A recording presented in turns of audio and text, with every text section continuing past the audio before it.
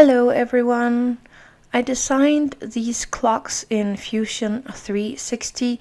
Um, I actually think they're called train station clocks.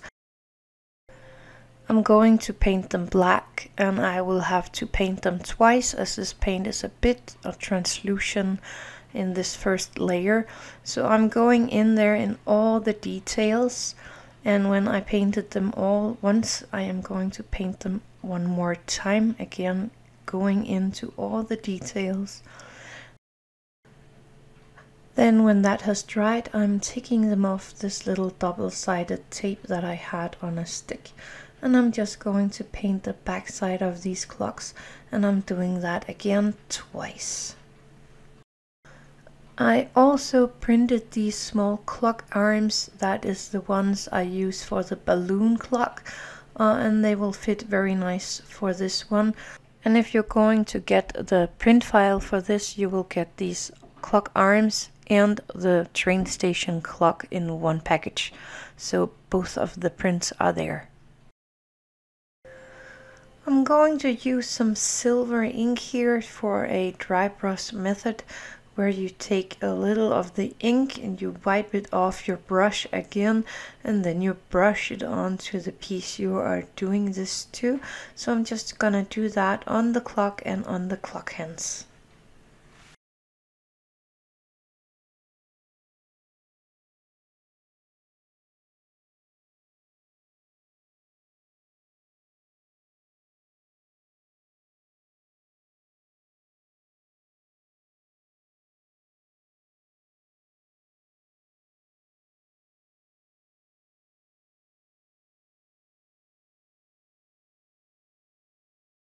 Then I scaled some clock faces into the size that I wanted for these and I printed them out. I will leave a link for these in the info box below so you can print them yourself.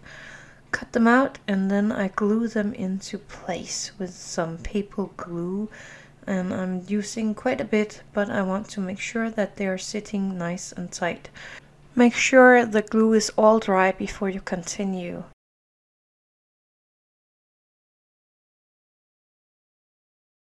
Then I am just glazing them and I'm making sure that they got glaze all over because I don't want my resin to ruin the paper underneath.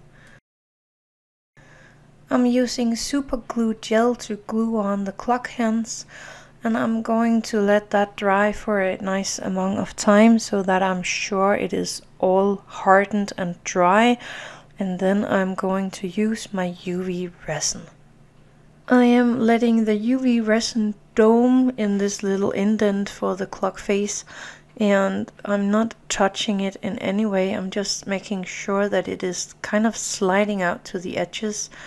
Then I use the UV torch slowly from far away and then closer up onto the uh, clock face just like Aura taught us to do I made the 3D print file for this little lamp and I printed it, painted it white and here I have a piece of a cord that I did not use for anything. So I'm making a knot in one end and then I'm just pulling it through the lamp so that it is hanging like this. You could put a little bulb in there if you wanted to, an LED bulb. I decided not to do that. I'm taking some white polymer clay here and I am shaping this little uh, cone uh, shape here, cutting off the top and the lower part of it, shaping it again a tiny bit, and then I'm going to poke a hole down to it.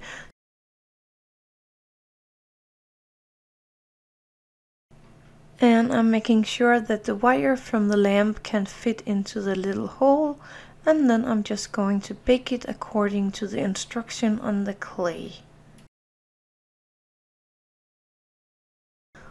And I'm gluing the cord into the little hole of this little piece that we just made. And then I'm just going to use my super glue gel to glue in the light and the two of the lamps that I made. I'm only going to use two of them. So I'm just doing that. That's all there is for this craft. I hope you liked it. now I finally got a little more done in the watchmaker's den. I'm happy with these wall clocks or station clocks. Thank you for watching. Please give it a like if you like this. It really means a lot to me because it shows the algorithm that you like this content and will show my videos up a little more. So thank you for joining. Happy crafting!